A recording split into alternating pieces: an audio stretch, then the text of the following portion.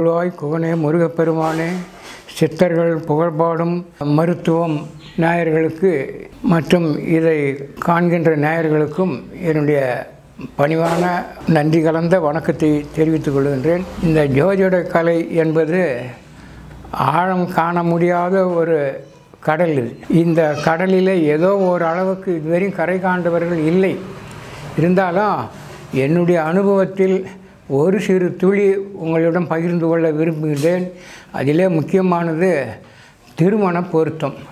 என்னை மிகவும் பாதித்த ஒரு தலைப்பு இந்த திருமண பொருத்தம்.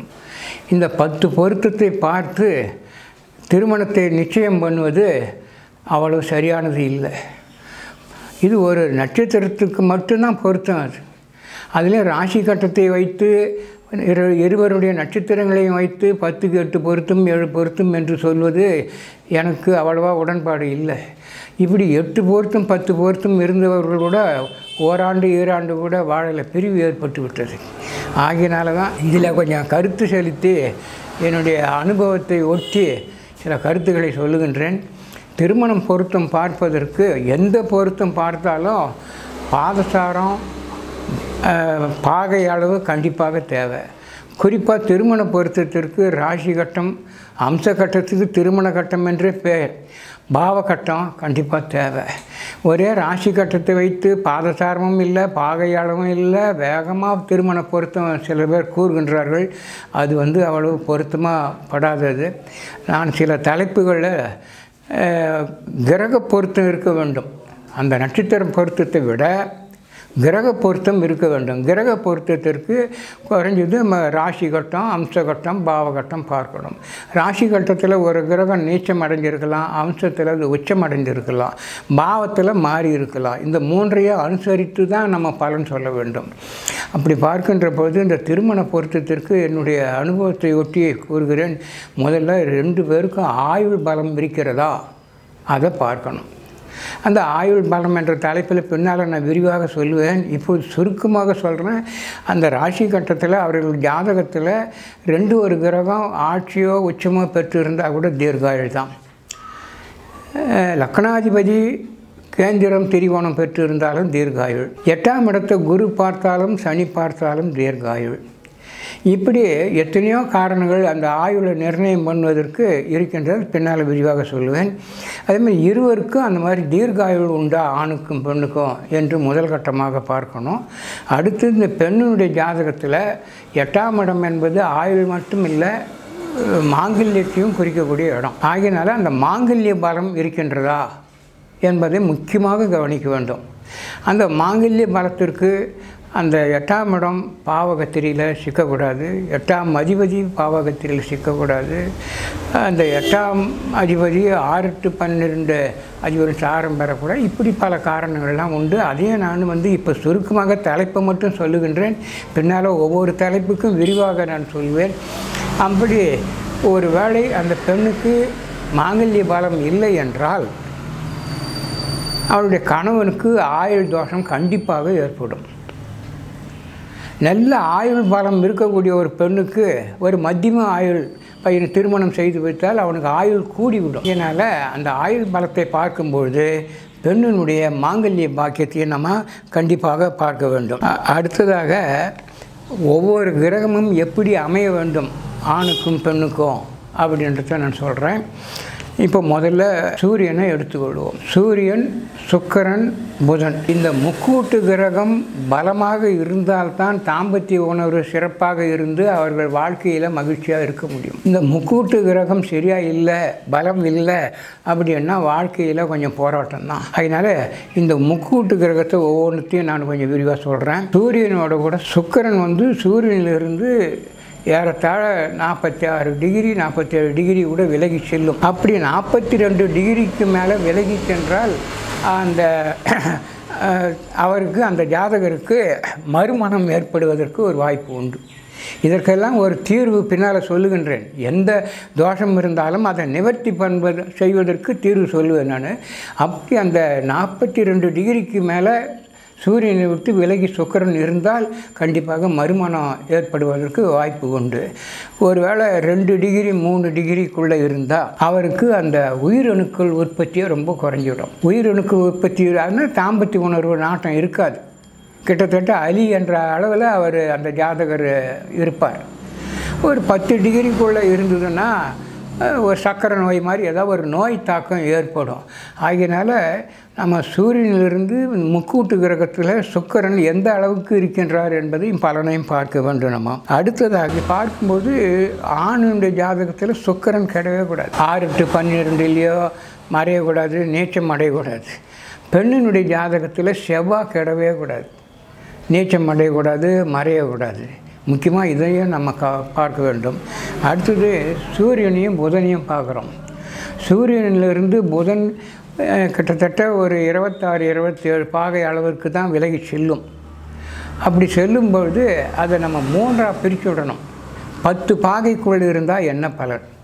பத்து பாகைக்குள் இருந்தால் சூரியனிலிருந்து புதன் பத்து பாகைக்குள் இருந்தால் சிலருக்கு திருமணமே ஆகவில்லை. சிலருக்கு திருமணம் நடந்தாலும் அது அந்த இல்வாழ்க்கை சிறப்பாக அமையலை. பத்திலிருந்து இருபது பாகைக்குள் இருந்தால் ஓரளவு வாழ்க்கை சிறப்பாக இருக்கும். இருபது பாகைக்கு மேல் புதன் விலகி சென்றால் அஹ், இல்லறத்தில் திருமணம் நடக்குவதற்கு எத்தனையோ வழி இருக்குது லக்கணத்துக்கு ஏழாம் இடத்து சந்திரனுக்கு ஏழாம் இடத்துல குரு பார்த்தால் கண்டிப்பாக திருமணம் நடக்கும். அந்த இருபது பாகைக்கு மேல் போனால் திருமணம் நடந்தாலும் அவர்களுக்கு இல்வாழ்க்கையில் ஒரு பற்றுதல் இருக்காது. இப்படி நம்ம சூரியனிலிருந்து புதன் எந்த அளவிற்கு விலகி சென்றிருக்கின்றார் என்பதையும் நம்ம பார்க்க வேண்டும். இதற்கெல்லாம் நம்ம நிவர்த்திக்கு வழி உண்டு. அது பின்னால் சொல்வேன். அடுத்ததாக சூரியனும் செவ்வாயும். அதையும் நம்ம பார்க்க சூரியனும் செவ்வாயும் எந்த லக்கணமாக இருந்தாலும் இது மு- முதல்ல நான் பெண்ணுக்கு சொல்கிறேன் எந்த லக்கணமாக இருந்தாரோ ஒரு ராசியில் சூரியனும் செவ்வாயும் ஒன்று சேர்ந்திருந்தால் சிறு வயதிலேயே திருமணம் ஆன சில காலங்களிலேயே விதவியாவதற்கு வாய்ப்பு உண்டு. இதில் சில ஜோதிடர்கள் கருத்து வேறுபாடு கூட சொல்லுகின்றார்கள். அதாவது துலா லக்கணத்திற்கும் மகர லக்கணத்திற்கும் தான் இந்த ம வந்து சூரியனும் செவ்வாயும் பாதகாதிபதியாக வராங்க. இந்த ரெண்டு லக்கணத்துக்காரருக்கு தான் சூரியனும் செவ்வாயும் இருந்தால் இளம் வயதில் விதவி ஆவதற்கு வாய்ப்பு உண்டு. மற்ற லக்கணக்காரர்கள் பயப்பட வேண்டியதில்லை அப்படின்னு சிலர் சொல்கிறாங்க அது தப்பு எந்த லக்கணமாக இருந்தாலும் சூரியனும் செவ்வாயும் ஒரு ராசியில் சேர்ந்து இருந்தால் அவர்களுக்கு வந்து கணவன் மனைவி பிரிவு ஏற்படுவதற்கு நிச்சயம் உண்டு. அது வந்து எப்போ ஏற்படும் அப்படின்னு பார்த்தோம்னா அவர்களுக்கு நடக்கக்கூடிய திசை பலன் சொல்லும்போது திசை புத்தி அந்தரமெல்லாம் பார்த்து தான் பலன் சொல்லணும். கிரகத்தை மட்டும் வச்சு பலன் சொல்லிவிடக்கூடாது. அப்படி எந்த திசையில் அவர்களுக்கு அந்த மாதிரி விலகி செல்லக்கூடிய ஒரு வாய்ப்பு இருக்கும். சில பேருக்கு அஞ்சு நாலஞ்சு வருஷத்தில் சில பேருக்கு பத்து வருஷம் கூட ஆகுது. ஆகுடி மொத்தத்தில் அவர்களுக்கு ஒரு இல்லற வாழ்க்கைன்னா கணவன் மனைவி ஐம்பது அறுபது வருஷமாக சேர்ந்து வாழணும். அவர்களுக்கு பிறக்கக்கூடிய குழந்தைகளுக்கு கல்யாண காட்சியெல்லாம் செய்து பார்க்கணும். அப்படி இல்லைன்னு சொன்னோம்னா இந்த நிலைமை தான் ஏற்படும். இது ஆணுக்கு சூரியனும் செவ்வாயும் ஒன்றாக இருந்ததுன்னா எந்த லக்கணமாக இருந்தாலும் பெரிய பாதகம் இல்லை. செய்கிற தொழிலில் ஒன்றா ஒரு இடமாற்றங்கள் அடிக்கடி ஏற்பட்டால் ஏற்படலாமே தவிர அது ஒன்றும் பெரிய பாதகமே கிடையாது அது. ஆண் பெண் அடுத்த கட்டம். ஆண் பெண் இருவருக்கும் லக்கணாதிபதியும் ஏழாம் அதிபதியும் எட்டுக்கு ஆறாக வரக்கூடாது. அதே மாதிரி இருவருடைய ராசியும் எட்டுக்காராக வரக்கூடாது. இருவர் ராசி அதிபதியும் லக்கணாதிபதியும் நண்பர்களாக இருந்தால் அல்லது சமமாக இருந்தால் கூட நல்லது. தப்பு ஒன்றும் இல்லை. இந்த குரு சந்திர யோகம் அப்படின்னு சொல்கிறாங்க யோகம்னு சொன்னோம்னா ஒரு நல்லதுன்ற மாதிரி சில பேர் நினைக்கிறாங்க. இல்லை. இந்த குரு சந்திர யோகம் என்னுடைய அனுபவத்தை பொறுத்த வரையிலும் எந்த லக்கணமாக இருந்தாலும் இந்த குருவும் சந்திரனும் எந்த ராசியில் இருக்கிறாங்களோ எத்தனையாவது இடத்துல இருக்கிறாங்களோ அந்த இடத்தினுடைய பலனை சுத்தமாக கெடுத்துடுறாங்க. இப்போ ரெண்டாம் இடத்துல குரு சந்திரன் இருப்பதாக வைத்துக்கொள்வோம் குடும்ப வாழ்க்கை அமையலை. ஒரு ஐந்தாம் இடத்துல குரு சந்திரன் இருப்பதாக வைத்தோம். குழந்தை பேரும் பாதி. ஏழாம் இடத்துல குரு சந்திரன் இருப்பதாக வைத்துக்கொள்வோம் அங்கே வந்து கணவன் மனைவி பிரிவு ஏற்பட்டு போகுது. இந்த ம, துயர நிகழ்ச்சிகள்லாம் எப்படின்னா நடக்கிற திசையை பொறுத்து தான் நம்ம பலன் சொல்லணும். அது கண்டிப்பாக பார்க்கணும். எட்டாம் இடத்துல குரு சந்திரன் இருப்பதாக வைத்துக்கொள்வோம் அந்த தம்பதியர் ரொம்ப நாள் வாழ்த்தல அவருக்கு ஒரு துறவு மனப்பான்மை வந்துடுது. அந்த அமைப்பு இருக்கக்கூடியவர்களுக்கு இல்லற வாழ்க்கையில் நாட்டம் வரல. இது மொத்தத்தில் எந்த இடத்துல இருந்தாலும் குருவும் சந்திரனும் அந்த இடத்த கெடுத்து தான் பாழ் பண்ணுறாங்க அதையும் நம்ம கொஞ்சம் யோசனை பண்ணணும். அடுத்தது ஒரு யோகம். புனர்ப்பு யோகம். இதெல்லாம் நம்ம பார்க்கணும். புனர்ப்பு யோகம்னா சந்திரனும் சனியும் ஒரு ராசியில் ஒன்றாக இருந்தாலும் சந்திரனுடைய ராசியில் சனி இருந்தாலும் சனி என்னுடைய இதில் சாரத்தில் சந்திரன் இருந்தாலும் ஒருவருக்கு ஒருவர் சப்தமாக பார்வை பார்த்தாலும் புனர்ப்பு யோகம்தான்.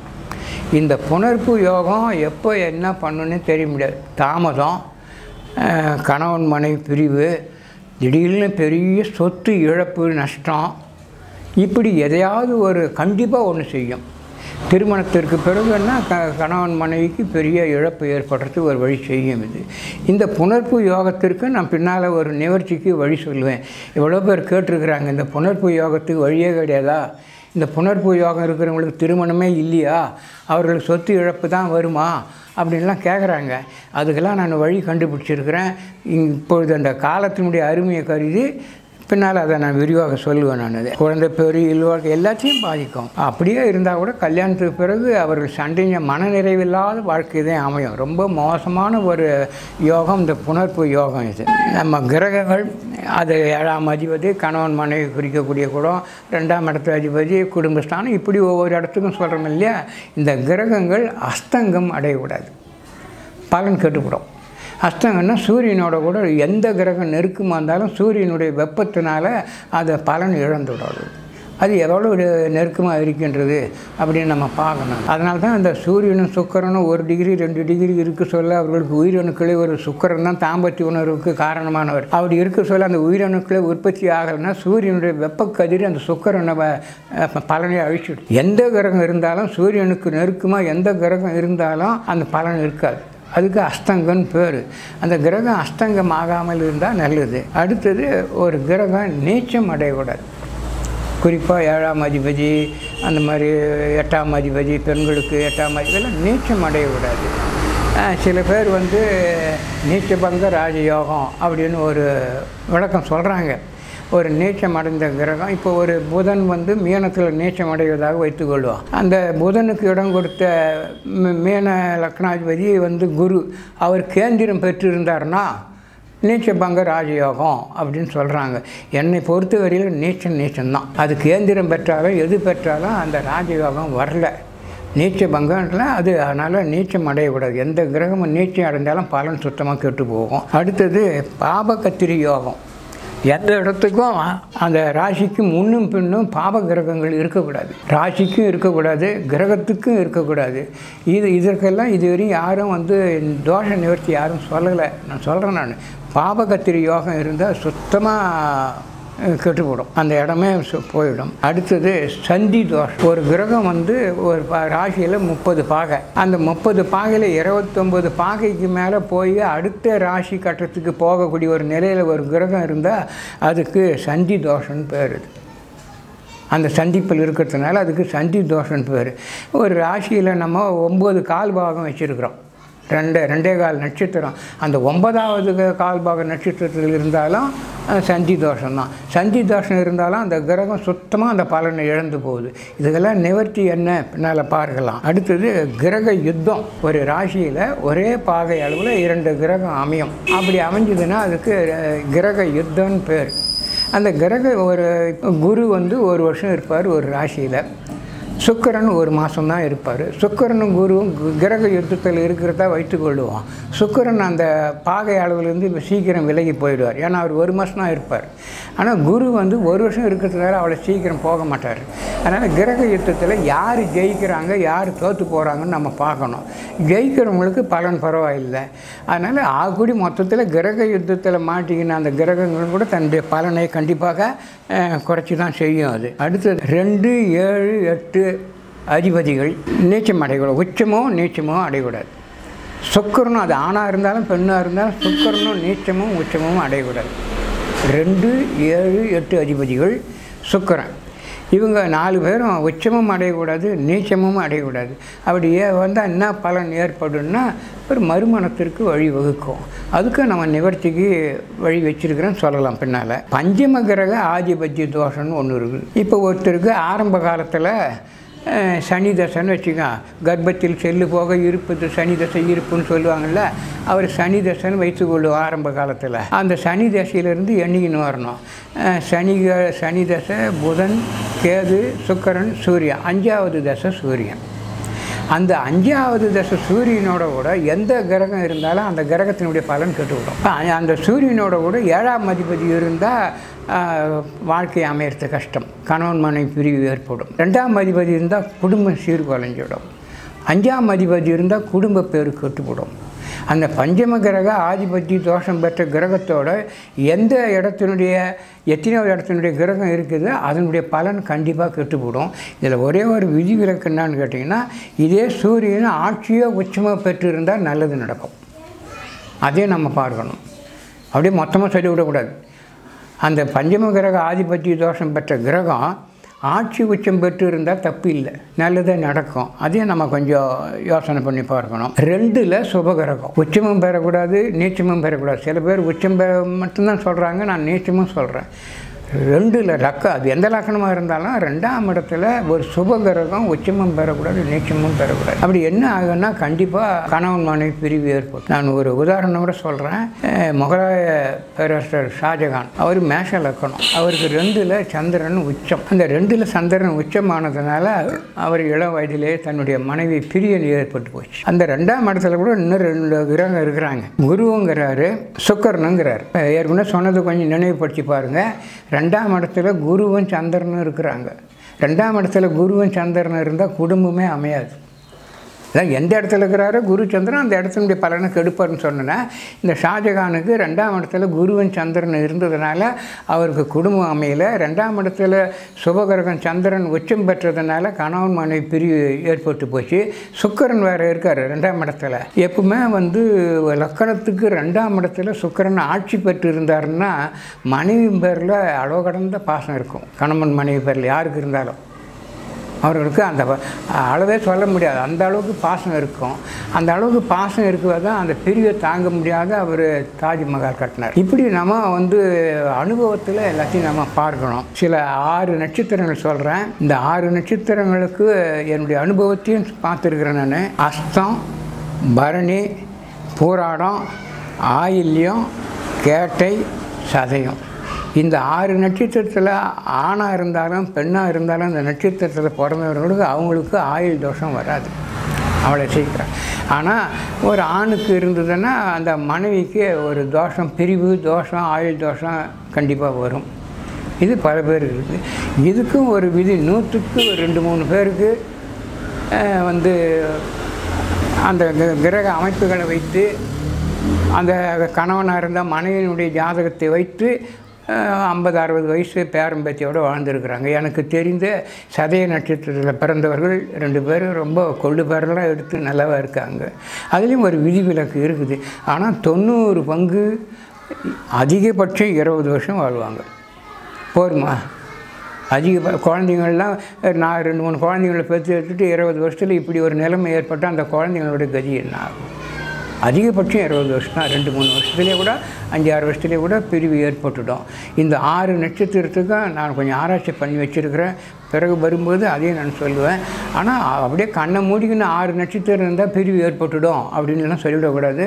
எனக்கு தெரிஞ்ச சில பேர் வந்து சதய நட்சத்திரத்தில் பிறந்தவர்கள் கிட்டத்தட்ட எண்பது வயசு வரையும் இருந்துக்கிறாங்க. பேரம்பத்தியோடு நல்லா இருக்கிறாங்க. அதுக்கு என்ன காரணம்னு நம்ம பார்ப்போம். இந்த சொல்லும்போது அது விரிவாக இருந்தால் அதிகமாக நேரம் ஆகிடும் அது. அடுத்தது மிதுனம் கன்னி அலிராசி. மகரம் கும்பம் அலிராசி. சனி புதன் கேது அலி கிரகம். இந்த அலி கிரகங்கள் இங்கே இருக்கக்கூடாது. அதுலேயும் குறிப்பாக வந்து புதன் மிதுனத்திலையும் இருக்கக்கூடாது கண்ணியிலையும் இருக்கக்கூடாது. பொதுவாக ஒரு ஜாதகத்தை எடுத்தோம்னா நம்ம முதல்ல ஒரு கண்ணோட்டம்னா பார்க்கணும். அது ஆணோ பெண்ணோ புதன் கெடாது இருக்குதா? ஒன்பதாம் இடம் கெடாது இருக்குதா? அப்படின்னு பார்த்து ரெண்டும் புதனும் நல்லா இருக்கிறாரு ஒன்பதாம் இடமும் நல்லா இருக்குது அப்படின்னு சொன்னால் நல்ல சுத்த ஜாதகம் நல்ல ஜாதகம்னு அர்த்தம். ஏதாவது ஒன்று ரெண்டு தோஷம் இருந்தால் கூட நீங்கிடும். இந்த புதனும் எடுத்த உடனே பார்க்கணும். புதன் எந்த நிலைமையில் இருக்கிறாரு? ஒன்பதாம் இடம் எப்படி இருக்குது? அப்படின்னு பார்த்து தான் நம்ம சொல்லணும். அப்போ அவங்க ஜாதகத்தை நம்ம ஒரு முடிவு பண்ணிடலாம். ஆனால் என்ன இருந்தாலும் புதனும் இது மிதுனத்தில் கண்ணியில் புதன் இருந்ததுன்னா தொண்ணூறு பங்கு கல்யாணம் ஆகலை. அப்படியே ஒரு சிலருக்கு கல்யாணம் ஆனால் கூட ரெண்டு ஒரு வருஷத்தில் பிரிவினை ஏற்பட்டு போகுது. குடும்பம் அமையலை. இது வந்து நூற்றுக்கு நூறு அனுபவத்தில் கண்ட உண்மை இது. இதுக்கு என்ன நம்ம வந்து பரிகாரம் பண்ணணும்? பிறகு நம்ம பார்க்கலாம். அடுத்தது தேய்விர சந்திரனையும் நம்ம பார்க்கணும். ஒரு ஜாதகத்தை பார்க்கும்போது அவர் வளர்விரையில் பிறந்தாரா? இல்லை தேய்பிரையில் பிறந்தாரா? அப்படின்னு பார்க்கணும். தேய்பிரையில் பிறந்தாலே கொஞ்சம் பலன் குறைவு தான் சுமாரான ஜாதகம் தான். வளர்பிறையில் பிறந்தால் பரவாயில்ல. இந்த தேய்மறை சந்திரன் அஞ்சில் இருந்தாலும் சனியினுடைய ராசியாகிய மகரம் கும்பத்தில் இருந்தாலும் செவ்வாயினுடைய ராசியாக மேஷம் விருச்சிகத்தில் இருந்தாலும் அவர்களுக்கு வாழ்க்கையில் சிக்கல் தான். குடும்பம் சிறப்பாக அமையாது. கொஞ்சம் சிக்கலான வாழ்க்கை தான் அமையும் அது. எந்த தோஷம் இருந்தாலும் எந்த சிக்கல் இருந்தாலும் அதுக்கு ஒரு மாற்று ஏற்பாடு நம்ம செய்யணும். இப்போ கூட சமீபத்தில் ஒருத்தர் எழுதுகிறாரு நீங்கள் என்ன தோஷத்துக்கு நிவர்த்தி பண்ணாலும் கர்ம வினை தான் செல்லும். அதுதான் வெல்லும். உங்கள் தோஷ நிவர்த்தியெல்லாம் வெல்லாது அப்படின்னு சொல்கிறாரு அது கூட எனக்கு உடன்பாடு இல்லை. நம்ம நிவர்த்தி பண்ணலாம். அந்த ஈரோடு ராஜமாணிக்கம் அவர்கள் சொல்லுவார் நம்ம மண்ணில் பிறந்தவங்களாம் சந்தோஷமாக வாழ தான் பிறந்தவங்க தவிர கஷ்டத்தை அனுபவிக்கிறதுக்காக வரல. இந்த கஷ்டங்கள் இருந்தால் அந்த கஷ்டங்களை நிவர்த்தி பண்ணி அவர்களை நல்லபடி வாழ வைக்கிறது ஜோசியர்களுடைய கடமை. அப்படின்னு திட்டவட்டமாக சொல்லுவேன் அந்த மாதிரி என்ன தோஷங்கள் இருந்தாலும் அதுக்கு நம்ம ஒரு வழிவகை காணணும். அதனால் தேய்பிர சந்திரன் இப்படி இருக்குதுன்னா சொல்லிவிடக்கூடாது அடுத்தது லக்கணத்தில் செவ்வாய் சனி செவ்வாய் சனியே நல்ல கிரக அமையும் கிரக சேர்க்கை நல்லது இல்லை. செவ்வாயும் சனியும். அது எங்கே இருந்தாலும் இருக்கிற இடத்தையும் கெடுக்கும் பார்க்குற இடத்தையும் கெடுக்கும். அந்த பலனை கெடுத்துடும். அதுவே பரவாயில்ல. இந்த செவ்வாயும் சனியும் லக்கணத்தில் இருந்தால் அல்லது ஒருத்தர் லக்கணத்திலிருந்து மற்றவர் பார்த்தால் இப்போ செவ்வாய் லக்கணத்திலிருந்து சனி பார்த்தால் லக்கணத்தில் சனி இருந்து செவ்வாய் பார்த்தால் வந்து வாழ்க்கை அமையும். கல்யாணம் நடக்கும். ஆனால் கல்யாணம் நடக்கிறதுக்கு சொன்னேன். ஏழாம் இடம் சந்திரனுக்கு ஏழாம் இடம் லக்கணத்துக்கு ஏழாம் இடம் குரு பார்வை இந்த சுபர் பார்வையெல்லாம் இருந்ததுன்னா கல்யாணம் கண்டிப்பாக நடக்கும். இந்த செவ்வாயும் சனியும் லக்கணத்தில் இருந்தாலும் ஒருவர் ஒருவர் பார்த்தாலும் கூட கல்யாணம் நடக்கும் திருமணம் நடக்கும். ஆனால் இந்த அமைப்புடைய ஜாதகருக்கு வாழ்க்கையில் பற்று இருக்க சன்னியாசியாக போயிடுவார் துறவு நிலையில் போயிடுவார் ஆனால் இப்படிப்பட்ட ஒரு துறவு நிலை உள்ள ஜாதகருக்கு நம்ம நோன் கூட வந்து செக் பண்ணி பார்க்கலாம். அவருடைய முன்னோர்கள் யாராவது இந்த மாதிரி குடும்பத்தை திறந்து சாமியாராக போயிருக்கலாம். கண்டிப்பாக அந்த மாதிரி போயிருப்பான் அதனுடைய வம்சம் பரம்பரை யாருக்காவது ஒருத்தருக்கு அந்த அமைப்பு வரும். செவ்வாயும் சனியும் லக்கணத்தில் இருந்தாலும் செவ்வாய் லக்கணத்திலிருந்து சனி பார்த்தாலும் சனி லக்கணத்திலிருந்து செவ்வாய் பார்த்தாலும் கண்டிப்பாக அவருக்கு வாழ்க்கையில் ஒரு துறவு நிலை சாமியாராக போகக்கூடிய ஒரு அமைப்பு தான் கண்டிப்பாக ஏற்படும். எனக்கு தெரிந்த கல்யாணம் ஆகி ஒருத்தருக்கு இதே மாதிரி லக்கணத்தில் செவ்வாயும் சனியும் கல்யாணம் ஆகி ஒரு குழந்தையும் பிற அம்மா வீட்டுக்கு போனாங்க பிரசவம் ஆச்சு. ரெண்டாவது அவர் மனைவியை சேர்க்கணுன்ற எண்ணமே வரல. அவருக்கு அந்த துறவு நிலை வந்து அந்த மாதிரி எவ்வளோ ஜாதகங்கள்லாம் இருக்குது. அடுத்தது நம்ம பார்க்கும்போது தீர்க்க சுமங்கலியாக இருக்கிறாங்களா? அதுக்கு என்ன காரணம்னு பார்த்தா சுருக்கமாக எத்தனையோ காரணம் சொல்கிறாங்க தீர்க்க சுமலிக்கு ஆண் ஜாதகமாக இருந்தால் ஜாதகராக இருந்தால் ரெண்டில் அசுப கிரகம் இருக்கணும். பெண் ஜாதகமாக இருந்தால் ரெண்டில் சுப கிரகம் இருக்கணும். அவங்க தீர்க்க சுமங்கலி பூவோடும் பொட்டோடும் போய் சேர்ந்துருவாங்க. ஆண் ஜாதகம் வந்தால் ரெண்டில் அசுப கிரகம் இருக்கணும் எந்த கிரகமும் இல்லைன்னா அசுபர் வீடாவது இருக்கணும். சரி ரெண்டில் வந்து ஒரு சுப கிரகம் இருக்குது ஒரு அசுப கிரகம் இருக்குது. எதுக்கு நம்ம பலன் சொல்கிறது அப்படின்னு குழப்பம் வேண்டாம்.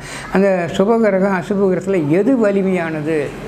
அதுக்கு நம்ம பலன் சொல்லிடுறோம் அதே மாதிரி பெண்களுக்கும் லக்கணத்துக்கு ரெண்டாம் இடத்தான் ரெண்டாம் இடத்தான் வா என்ன கேட்டிங்கன்னா இந்த ரெண்டாம் இடம் வந்து ஒவ்வொரு ஜாதகருக்கும் ஒவ்வொரு வீட்டுக்கு மெயின் என்ட்ரன்ஸு தெருவாசுப்படி மாதிரி அது. அந்த ரெண்டாம் இடம் கெடவே கூடாது. அந்த ரெண்டாம் இடம் கெட்டாவே எல்லாமே கெட்டு போச்சுன்னு அர்த்தம். அதனால் அந்த ரெண்டாம் இடத்துல ஆண்களாக இருந்தால் அசுபகிரகம் பெண்களாக இருந்தால் சுபகிரகம் இருக்கணும். அடுத்தது இந்த செவ்வாய் தோஷத்தை பற்றி கொஞ்சம் இப்போ கொஞ்சம் விரிவாக சொல்லி விட்றேன் நான். பின்னாலேயும் வரும். இந்த ஜாதகர்கள் ஜோசியர்கள் இந்த செவ்வாய் தோஷம் சொல்லியே எவ்வளோ பேருக்கு கல்யாணம் ஆகட்டாது பண்ணிட்டாங்க. அந்த பாவத்தை அனுபவிச்சு தான் தீரணும் எனக்கு தெரிஞ்சு எத்தனையோ குடும்பத்தில் பொம்பளை பசங்க நாற்பது நாற்பத்தஞ்சு வயசு ஆகி இனி எனக்கு கல்யாணமே வேணாமா?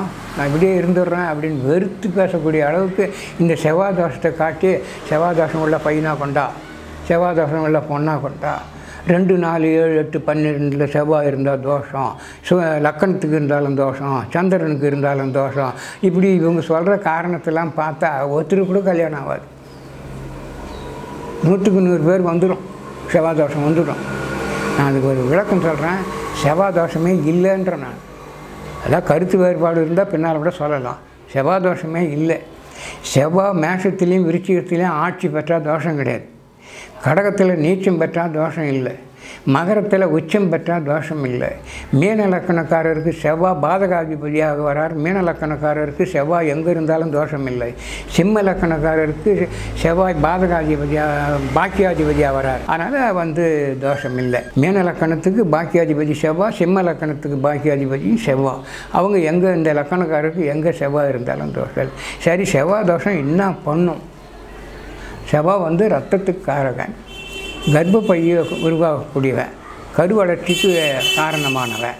ஆகையினால அந்த செவ்வாய் தோஷம் ரெண்டு பேருக்கும் ஒன்றா இருக்கணும்னு பொதுவாக சொல்கிறாங்க அந்த செவ்வாய் தோஷம் சில பேருக்கு எட்டு வயசு பத்து வயசில் கூட ஆரம்ப காலத்திலேயே கூட கழிஞ்சிடும். இப்போ கர்ப்பத்தில் செல்லு போக செவ்வாய் திசை நாலு வருஷம் அஞ்சு மாதம் அப்படின்னா செவ்வாய் தசை வாழ்நாளில் மறுபடியும் வரப்போகிறது கிடையாது. சில பேருக்கு நாற்பத்தஞ்சு ஐம்பது வயசுக்கு மேலே கூட செவ்வாய் தசை வரலாம். இது எப்போ பாதிக்குன்னு சொன்னால் செவ்வாய் தசை வந்தால் தான் பாதிக்கும். வாலிப வயதில் செவ்வாய் தசை வந்தால் தான் அந்த தோஷம் பாதிக்கும். செவ்வாய் தசையே வரல. இப்போ நாற்பத்தஞ்சு வயசு ஐம்பது வயசு ஆகி போச்சு ஒரு பெண்ணுக்கு. செவ்வாய் தோஷமே வரல. அதோட அவங்க அந்த மாத விளக்கு கூட நின்று போடுவான். ஐம்பது வயசு ஆகி போச்சுன்னா அவனுக்கு அந்த வேகமே இருக்காது. ஆகியனால வாலிப வயசில் செவ்வாய் தசை வருதா? வரலன்னா கவலைப்பட வேண்டியது சின்ன வயசில் வந்தாலும் போ- போகட்டும் நாற்பத்தஞ்சி ஐம்பது வயசுக்கு மேலே செவ்வாய் தசை வந்தாலும் பரவாயில்ல தப்பு கிடையாது. அப்படி இப்படிலாம் பார்த்தோம்னு சொன்னால் இவங்க சொல்கிற விதிப்படி ஒரு நூற்றுக்கு ரெண்டு பேர் மூணு பேருக்கு செவ்வாய் தோஷம் வரும். பொருத்தம் பார்க்கும்பொழுது ஒரே வித பஞ்சாங்கத்தில் பார்க்கணும். திருக்கணிதம்னா ஆணுக்கும் பெண்ணுக்கும் திருக்கணிதம். வாக்கிய பஞ்சாங்கம்னா ஆணுக்கும் பெண்ணுக்கும் வாக்கிய பஞ்சாங்கம். இப்படி ஒருத்தருக்கு திருக்கணிதம் ஒருத்தருக்கு வாக்கிய பஞ்சாங்கத்தினுடைய கிரக பலனை வச்சுலாம் பொருத்தம் பார்க்கக்கூடாது. லக்கணத்தில் கேது இருந்தாலும் ஏழில் ராகு இருந்தாலும் தவறு கிடையாது. வந்து ஏழில் ராகு இருந்தால் கணவன் மனைவி அளவு கடந்த பாசத்தோடு இருப்பாங்க. தப்பு ஒன்றும் கிடையாது. லக்கணத்தில் கேது இருக்கிறதுனால. அடுத்து பொருளாதார மேம்பாடு கூட நல்லா இருக்கும். அவர்களுக்கு. இந்த கணவன் மனைவி ஒற்று இல்லை. ஆண் கிரகங்கள் பலமிழந்து இந்த சூரியன் செவ்வாய் கிரகம்லாம் ஆண் கிரகம். அது பலமிழந்து ஆறு டு பன்னிரெண்டில் அமரக்கூடாது. அலி கிரகங்கள் ஏற்கனவே சொன்னேன் இந்த புதன் சனி கேது இது பலம் பெற்று பெண் ராசியில் அமரக்கூடாது. அப்படி ஆண் கிரகங்கள் பலம் இழந்து ஆறு எட்டு பன்னிரெண்டில் அமர்ந்தாலும் அலி கிரகங்கள் பலம் பெற்று பெண் ராசியில் அமர்ந்தாலும் அவர்களுக்கு ஆண்மையற்ற அழியாவார். இப்படி ஒரு ஆண்மை இல்லாத ஒருவருக்கு பத்து பொருத்தம் பார்த்து இன்னொன்று பொருத்தம் நல்லா இருக்கணும்னு சொன்னால் ஆணுக்கு ராகு கேது உள்ள ராசியில் பெண்ணுக்கு ராகு கேது இருந்தால் ஒற்றுமையாக இருப்பாங்க. சில தோஷங்கள் கூட நிவர்த்தி ஆகிடும் அப்படியே விட்டு கொடுத்து வாழ்வாங்க. ஒருத்தருக்கு ஒருத்தர் விட்டு கொடுப்பாங்க. ஒருத்தருக்கு ஒருத்தர் விட்டு கொடுத்தா நல்லது. அதுதான் குடும்ப வாழ்க்கை. அதனால் ஒருவருக்கு ராகு கேது உள்ள இடத்துல அடுத்தவருக்கு ராகு கேது இருக்கணும். அப்படி இருந்தால் விட்டு கொடுத்து வாழ்வார்கள் என்ற நிகழ்ச்சியை இத்துடன் முடித்து கொள்கின்றேன். அடுத்து தொடர் வரும்பொழுது நான் முன்னர் கூறியது போல் ஒவ்வொரு தலைப்பிலும் நான் விரிவாக சொல்லுவேன். இதில் இதை கேட்டுக்கொண்டிருந்த நேயர்களுக்கு ஏதாவது கருத்து வேறுபாடோ ஐயப்பாடோ இருந்தால் நீங்கள் தொடர்பு கொள்ளலாம். இந்த அளவுக்கு இதை கேட்டவங்களுக்கும் இதை வந்து பதிவு பண்ணவர்களுக்கும் என்னுடைய மனமார்ந்த நன்றியை தெரிவித்துக்கொண்டு மீண்டும்